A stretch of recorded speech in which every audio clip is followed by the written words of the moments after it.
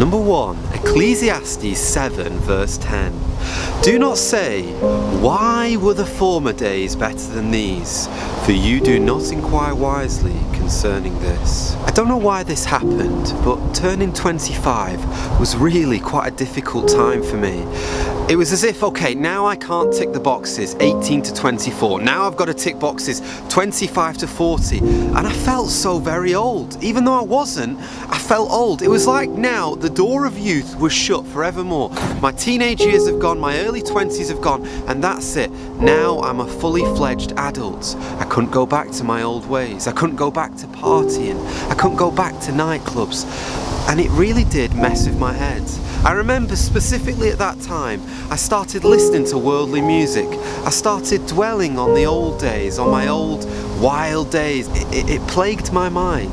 And guys, you're gonna laugh at this, but I had a sort of midlife crisis at 25 years old. And on top of all of this, life had got so very, very serious.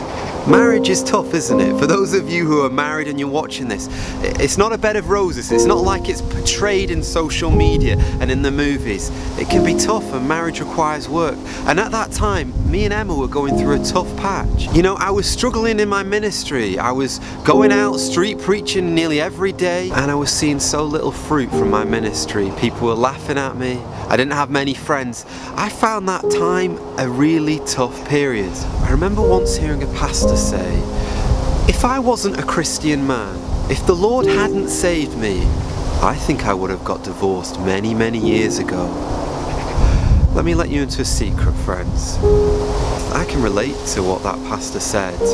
In those years, those two really dark, dark years, if it wasn't for the Almighty God protecting me, I would have made some big, big mistakes. I, I, just to be honest, I would have ruined my life if it wasn't for the grace and kindness of God who's kept me in those dark times. May I ask you another personal question?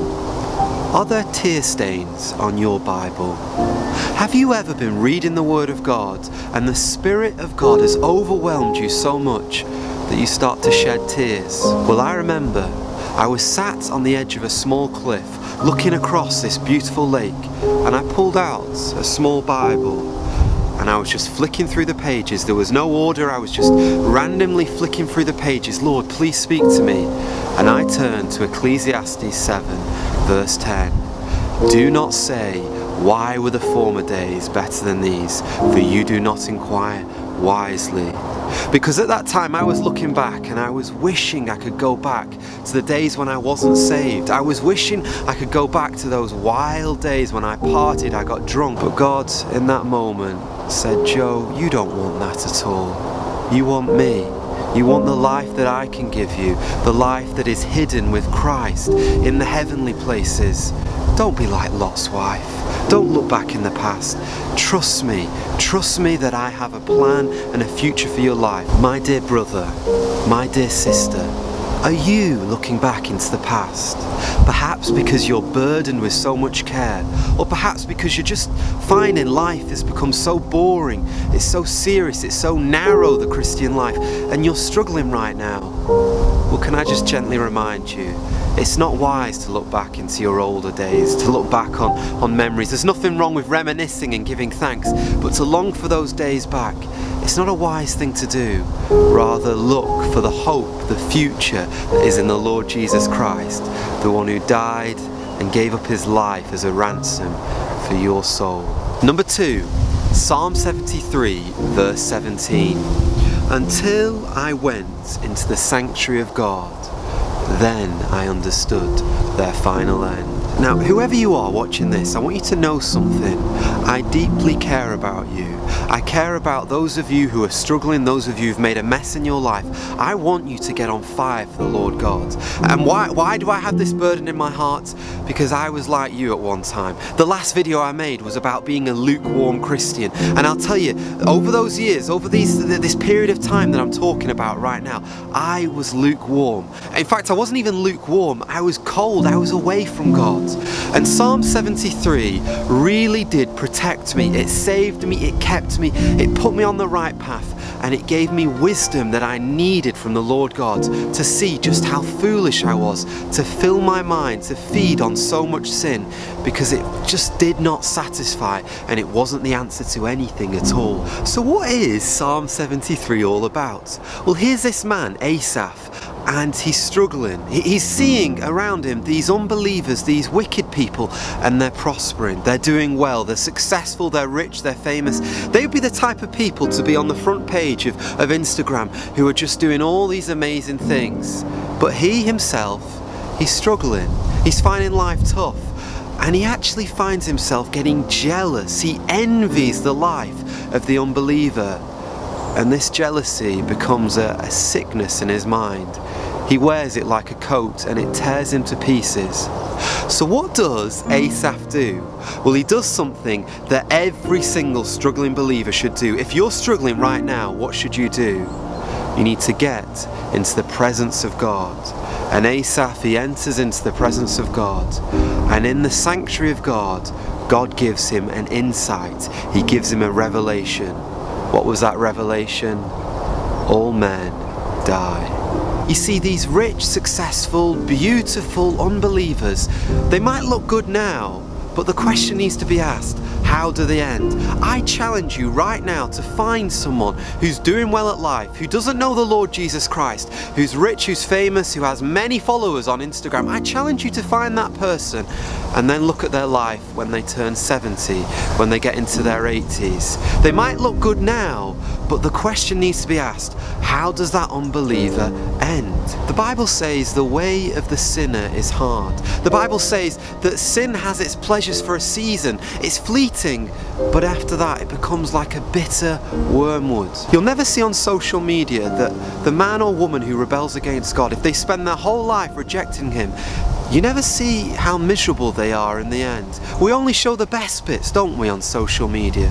Jack Nicholson is a very famous example of this.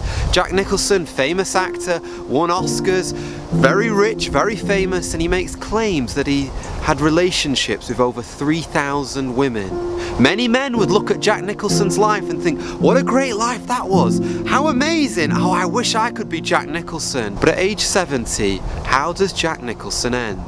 In an interview, he said this I regret messing around, I regret floundering around with many different women because now no woman will ever trust me and I'm scared of dying in the house on my own. But I want you to compare how the unbeliever ends their life to the way the believer ends their life.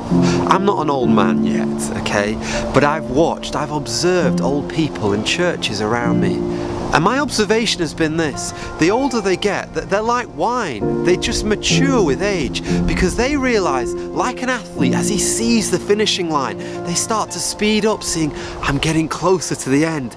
I'm going to see my Lord. I'm going to see my Savior soon.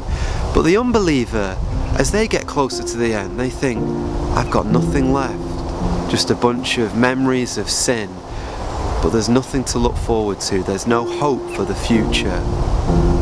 So my dear friends, don't look at the past.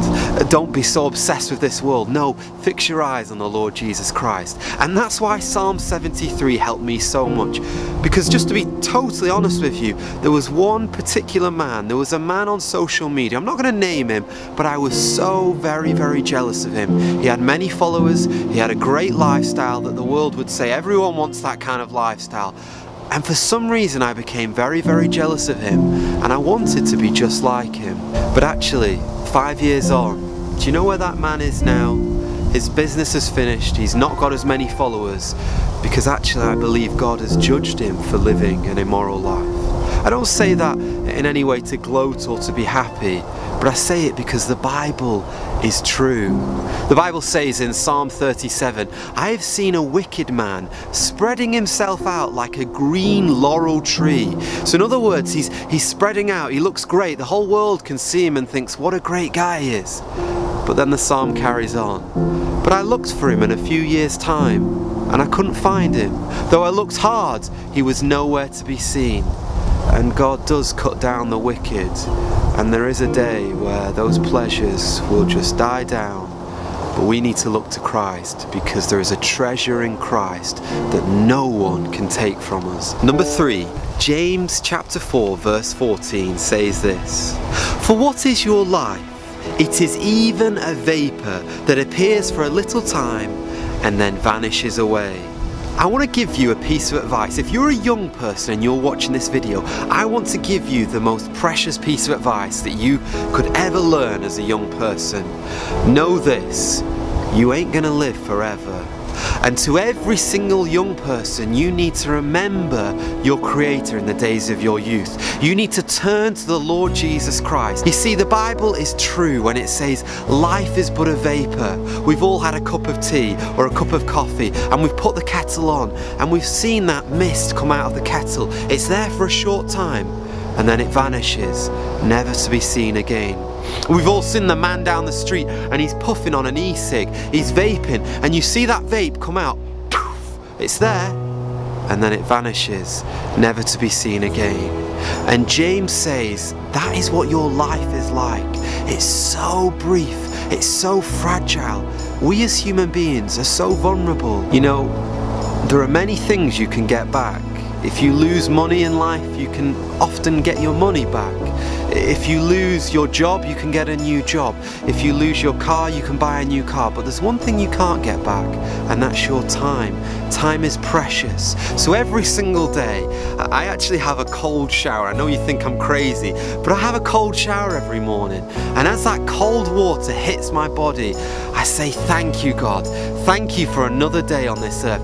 Thank you for another day to, to turn from sin, to, to respect you, to honor you, to live for you. Another chance to to witness, to share the gospel. So, because time is so brief, we need to make sure that we use the days wisely and we seek out opportunities to try and win as many souls as possible because eternity is long and we want to bring as many people to Christ. So make sure you make every single day count and you give thanks that today you're alive, today your heart is beating because God has granted you another day on his very, very green earth.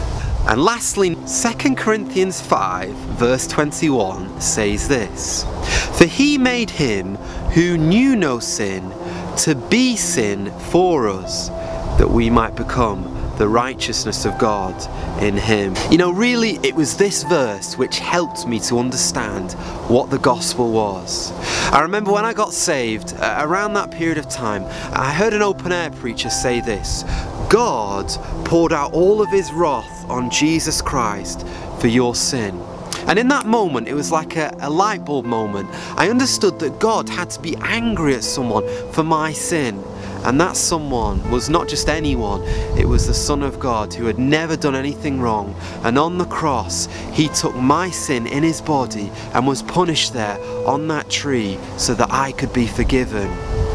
And that verse, 2 Corinthians 5, verse 21, I came across it at the same kind of time. He, that's God, made him, Jesus Christ, to become sin. So on the cross, Jesus became our lies, he became our blasphemy, he became our sex outside of marriage, our pride, our anger, our lust. On the cross, Christ became that sin. And it says in the Bible, it pleased the Lord to bruise him. Not because he hated his son, he loved his son dearly, but because he hated our sin. So here we are at Calvary, there was a legal transaction. The worst of Joe Kirby, the worst of you, was laid on Christ Jesus. And then the best of Jesus Christ can be imputed, can be given to you as a gift. So Christ's perfect track record, his righteousness, his love, his, his godliness can be given to you as a gift instantly like that. And that is why the gospel is so amazing because God doesn't see you anymore. He sees his blessed son, the Lord Jesus Christ, and he adopts you into his family and says, I love you. You're a child of God. I am with you forever. I will never leave you. I'll never forsake you. Come, be with me forever in all of eternity where you'll serve me in the new creation.